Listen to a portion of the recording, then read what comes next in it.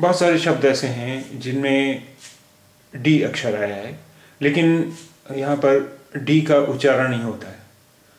हम बहुत सारे शब्दों का गलत उच्चारण करते हैं। देखिए, उसमें से कुछ शब्द ये हैं। Adjective adjective एजर्न adjourn adjust. Adjust. Adjoin. Adjoin. Adjudicate. Adjudicate. Adjudge. Adjudge. Adjunct. Adjunct. Adjacent. Adjacent